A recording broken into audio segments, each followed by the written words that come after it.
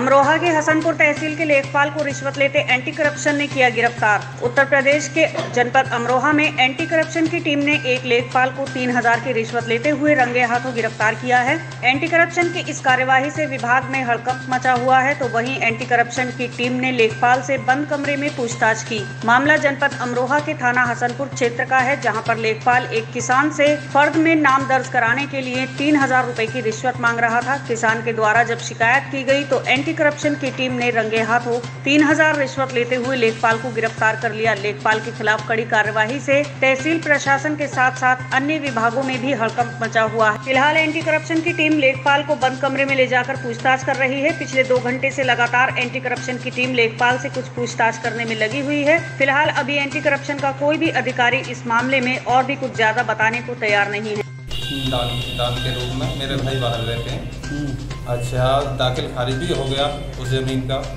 मैं बोला लेखपाल साहब, मुझे लोन लेना है और मुझे जो खसरा की फ़र्ज़ चाहिए और जो मेरी जो रजिस्टर में चढ़ा था तो बोला रुपये चार हज़ार रुपये लूँगा और आपको मैं फ़र्ज़ दे दूँगा के मैं, ठीक है साहब।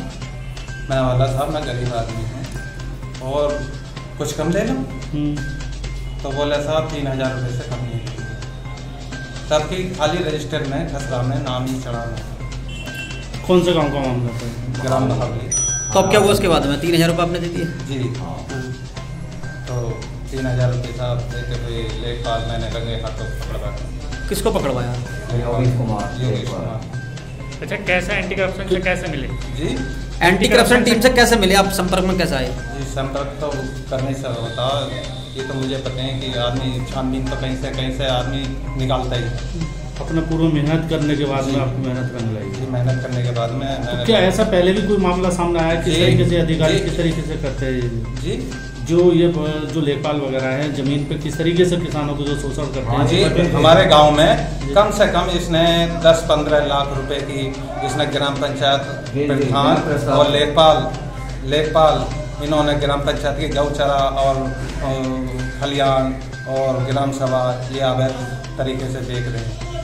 ठीक ठीक। रसीद काट रहे हैं। बताओ। कुशलवीर सिंह। बताइए जो आज आपने जो पकड़ा है क्या है? क्या है लेखपाल ये योगेश कुमार लेखपाल हैं यहाँ। शिकायतकर्ता सुरेश कुमार हैं। इनसे इन्होंने ये तीन हज़ार रुपये रिश्वत की मांग की थी। इन्होंने ट्रैक टीम मुरादाबाद को सूचना दी थी। वहाँ से टीम गठन हुआ। फिर बाकायदे जैसे रंगे हाथों पकड़ा जाता नोटिस के बाद ये रंगे हाथों तीन हज़ार रुपये रिश्वत लेते हुए पकड़े गए। सर अब क्या कार्रवाई आगे क्या चीज़ है? इसमें मुकदमा कायम हो रहा है?